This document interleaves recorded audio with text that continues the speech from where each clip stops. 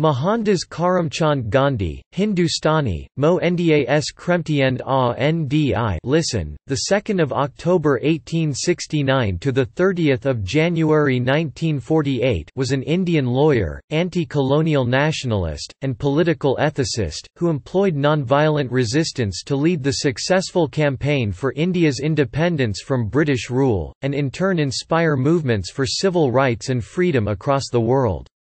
The honorific Mahatma Sanskrit, high-souled, venerable, first applied to him in 1914 in South Africa, is now used throughout the world.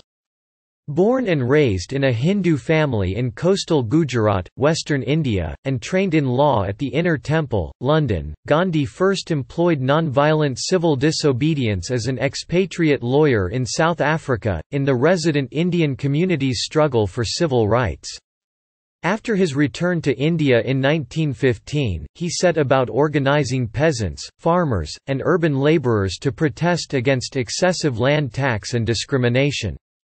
Assuming leadership of the Indian National Congress in 1921, Gandhi led nationwide campaigns for various social causes and for achieving Swaraj or self-rule. Gandhi led Indians in challenging the British imposed salt tax with the 400 kilometers (250 miles) Dandi Salt March in 1930, and later in calling for the British to quit India in 1942.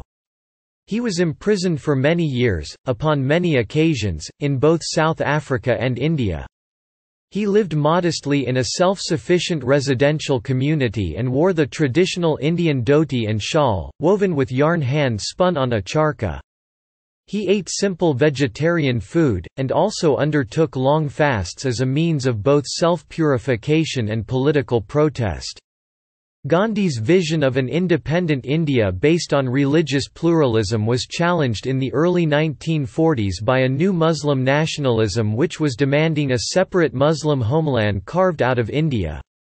In August 1947, Britain granted independence, but the British Indian Empire was partitioned into two dominions, a Hindu-majority India and Muslim-majority Pakistan.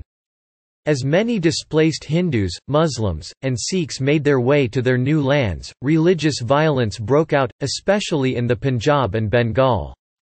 Eschewing the official celebration of independence in Delhi, Gandhi visited the affected areas, attempting to provide solace.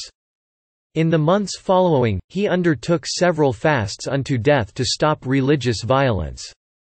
The last of these, undertaken on 12 January 1948 when he was 78, also had the indirect goal of pressuring India to pay out some cash assets owed to Pakistan.